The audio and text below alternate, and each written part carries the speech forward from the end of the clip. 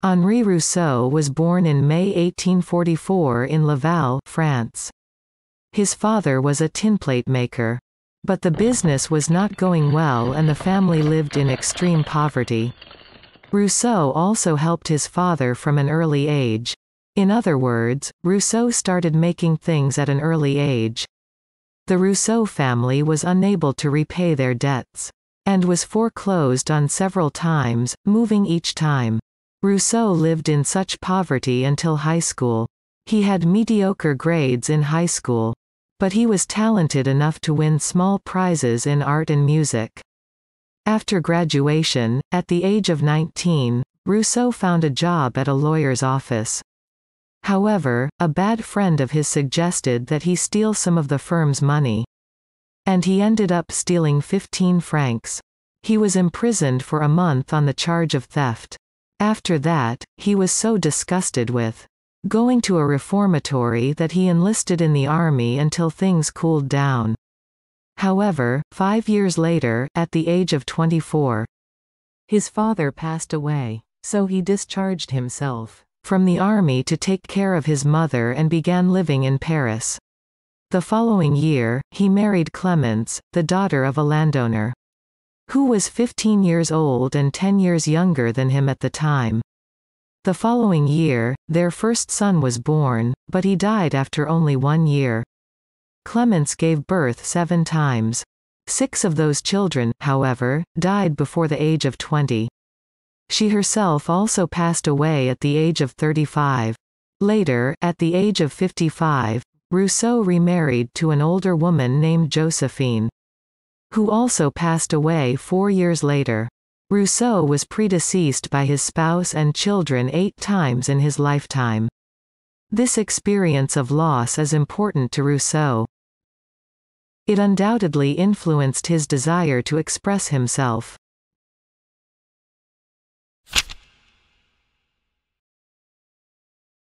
Rousseau began working at the customs office in Paris at the age of 27. His job was to collect taxes when merchants entered the city of Paris. And it was a very comfortable working environment. He had been painting by the time he was in his 30s. And his boss offered him this job with the intention of giving him an easy job. So that he could devote himself to painting.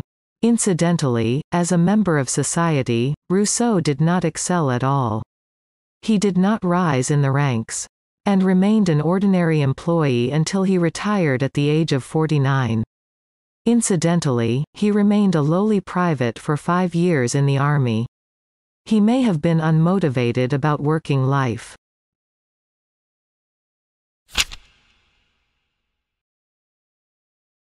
Rousseau first exhibited his work at the Salon de Paris in 1885. When he was 41 years old, However, Rousseau's work was not selected and was never seen by the public. However, at the suggestion of Paul Signac, a neo-impressionist painter, Rousseau exhibited A Carnival Evening at the Salon des Indépendants. This was the first time Rousseau's work was seen by the public. However, this work was not appreciated at all. First of all, as is common with all Rousseau's works, there is no sense of perspective or three-dimensionality. Also, the theme of two people in fancy carnival costumes in the forest was not meaningful. If you look closely, you can see a man's face in the small window of the hut behind. It is a little too surreal and interesting.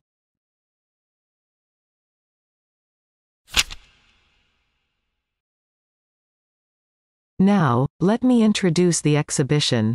Circumstances surrounding the paintings of the time. The Salon de Paris, where Rousseau first attempted to exhibit his works, was a government-sponsored exhibition, which started in 1737, during the reign of Louis XIV. And the judging system was added in 1798.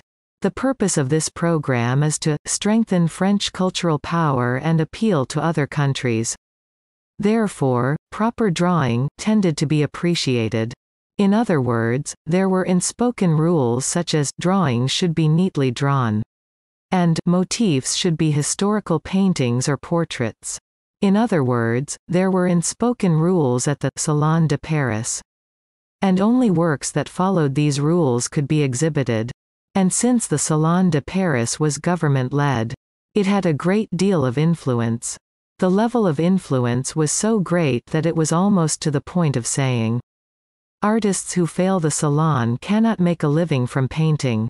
Therefore, it was necessary for painters to create orderly paintings that would be popular at the salon. The Impressionist painters objected to such a Salon de Paris. They held their own Impressionist exhibition, from 1874 to 1886. These private sector-led reforms did increase the tendency to say, isn't the Salon de Paris getting old? The Salon de Paris was privatized in 1880.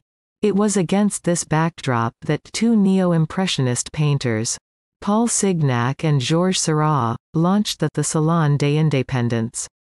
The principle of the exhibition was, no judging, no prizes, and free entry. So, if you apply and say, I'll exhibit, and pay the exhibition fee, anyone could exhibit their work. This was a very important exhibition in the history of art. First of all, it completely changed the commercial distribution of art. In the days of the Salon de Paris, the painter who was recognized by the Salon was offered a job. But after the Salon des Indépendants, the art dealer who came to the Salon des Indépendants found his favorite painter and offered him a job. The Salon des Indépendants was the place to go to for a job. In a sense, this is similar to the change from being published in advertising media to anyone can send out information via social networking services. The Salon des Indépendants have allowed the discovery of talent that had been buried under the radar. The Salon des Indépendants was a perfect match for Rousseau who had not received any praise from the public and whose drawing skills were not very high. Rousseau thus continued to exhibit his own works at the Salon des Indépendants until the end of his life.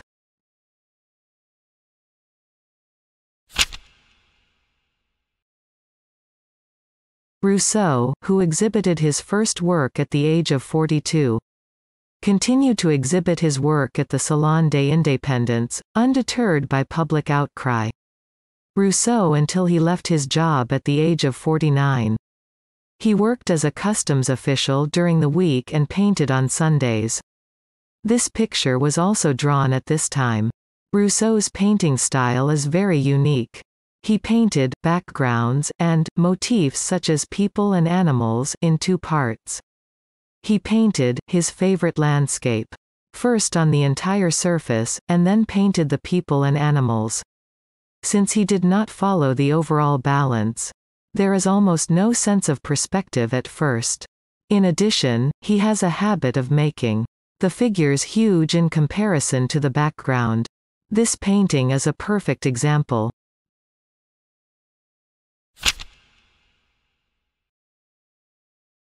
In this painting, too, the figures appear to be giants. But Rousseau, of course, did not want to paint giants.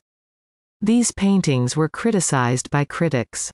Newspaper articles once wrote, they look like they were drawn by a child.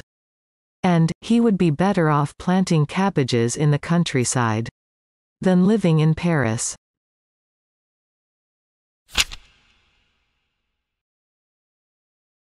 However, there were also praises from avant-garde artists. Tiger in a Tropical Storm Surprised was exhibited in 1891. And Rousseau received his first serious review. When the young artist Félix Vallotton wrote, His tiger surprising its prey ought not to be missed it's the alpha and omega of painting. Yet it was more than a decade before. Rousseau returned to depicting his vision of jungles. The era in which Rousseau lived was the era of the government-led Salon de Paris. And with the advent of the Salon des Indépendants, paintings were required to be innovative in a way never seen before. In other words, the value of painters with innovative painting styles became more valuable than painters with high technical skills who studied at the academy. It was as if being technically good was no longer enough. Under such circumstances, painters who tackled new expressions, such as Félix-Édouard Vallotton and Paul Gauguin, were attracted to Rousseau's simplicity. In 1893, at the age of 49, Rousseau decided to apply for retirement and devote himself to painting while receiving a pension. From that time on, Rousseau moved his base to Montparnasse the sacred city of French painters. His pension was very small, and he opened a drawing class and began to create works of art. While receiving fees for the class, his third daughter, who was living with him at the time, got tired of living in poverty and moved to her uncle's house.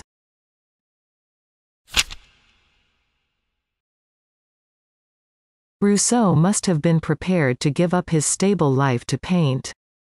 In the midst of such a life, he painted this masterpiece at the age of 53. This painting is one of Rousseau's masterpieces. A lion walks up to an exhausted mandolin-playing woman who is sleeping. But it never seems to bite her. The situation of a lion in the desert is fantastic and interesting. At first glance, the composition seems a bit tense. But the lion's expression and the composition of the flat surface are humorous and even reassuring. Rousseau wanted to sell this work, but it did not sell because it did not have a high market. Reputation at the time and the work itself was not understood. However, it is now so highly regarded that it is housed in the Museum of Modern Art in New York.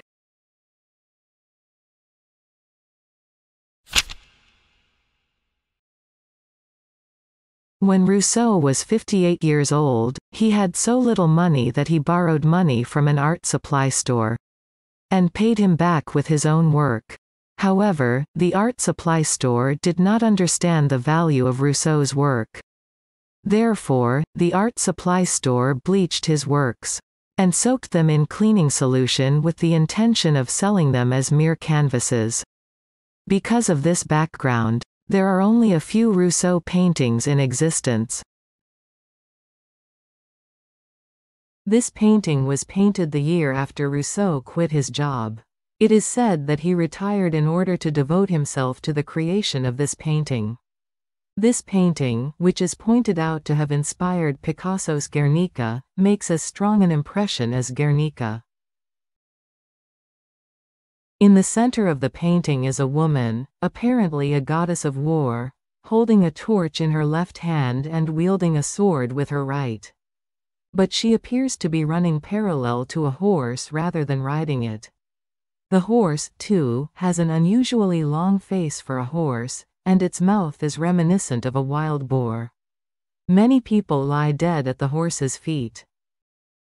It is well known that Rousseau was a pacifist that he never once went into battle during his six years in the army. Probably because he was an incompetent soldier, was fortunate for him. His sensitive mind would not have been able to bear the killing.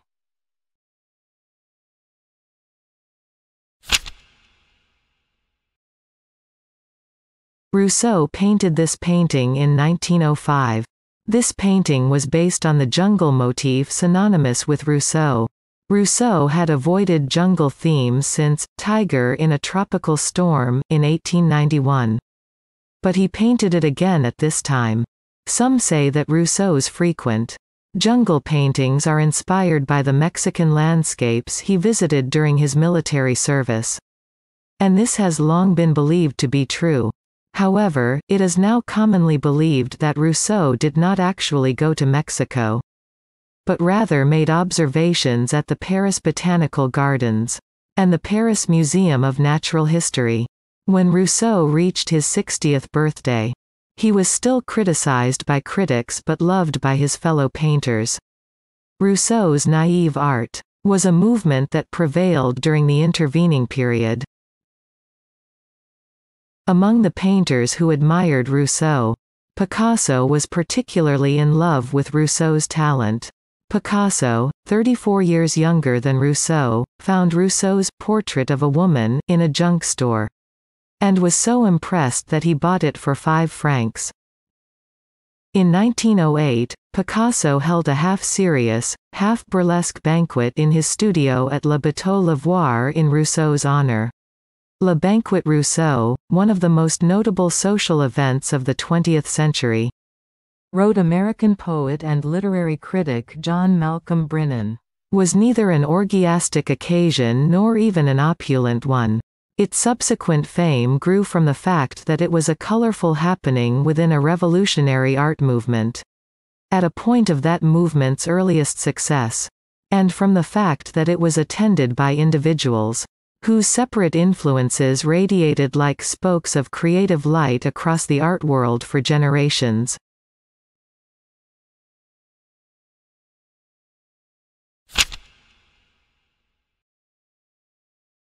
Incidentally, when Rousseau participated in this banquet, he was on parole after serving time for fraud.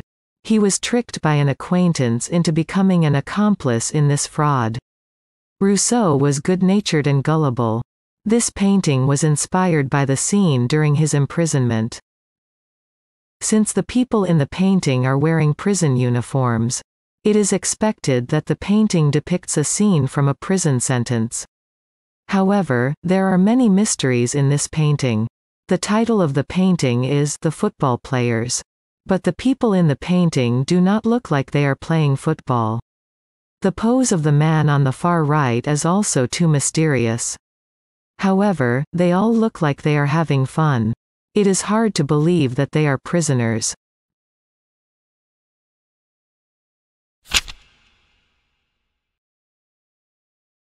Rousseau lived a tumultuous life. Serving time in prison even after his 60th birthday. This painting is the work he painted in his last year of life at the age of 66.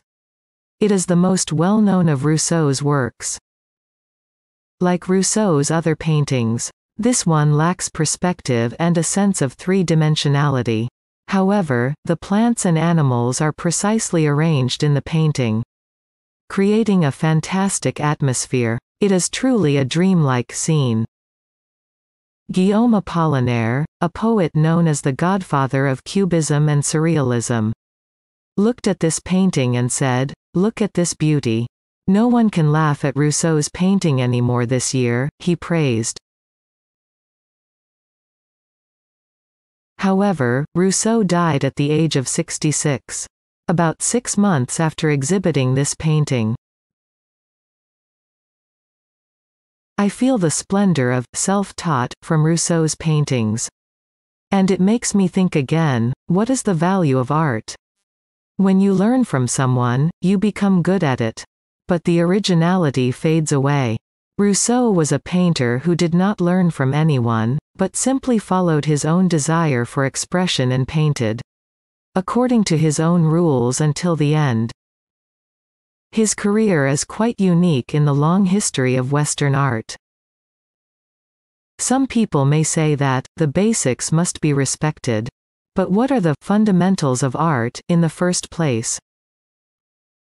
What are the basics of expression? The basics are actually an assortment of other people's common sense. In this sense, learning can be described as being cursed by someone. If we dare to write it in a mean way. With the internet so advanced, it is the fate of artists to seek originality. After being influenced by someone else. It is also true that because anyone can publish their works, they tend to aim to be popular with the masses before they know it. However, whenever I see Rousseau's works, I learn the importance of a more primitive desire to draw Rousseau's naivete as a primal question, who am I? Thank you for watching the video till the end. Please subscribe, and hit the like button.